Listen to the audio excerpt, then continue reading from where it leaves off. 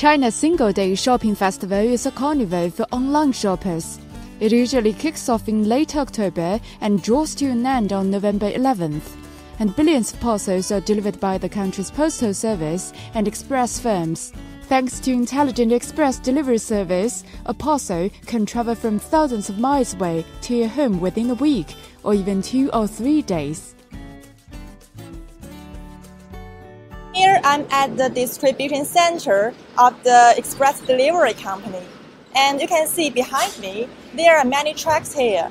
And can you imagine, every day there are hundreds of these kind of trucks coming in this distribution center.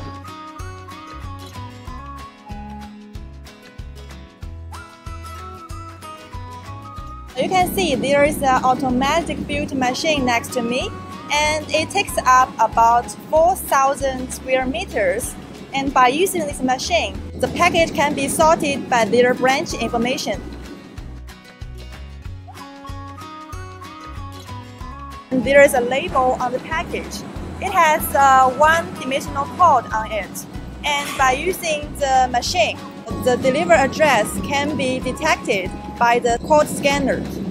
经过我们小型履带机经过我们是后边这个相机以后，进入我们数据库去智能识别它需要到达的每一个网点，然后在我们到达每一个网点的一个隔口以后，它会准确无误的去落入我们的网点的一个隔口。Uh, this automatic build machine travels 2.5 meters per second and it can sort over 50,000 parcels per hour.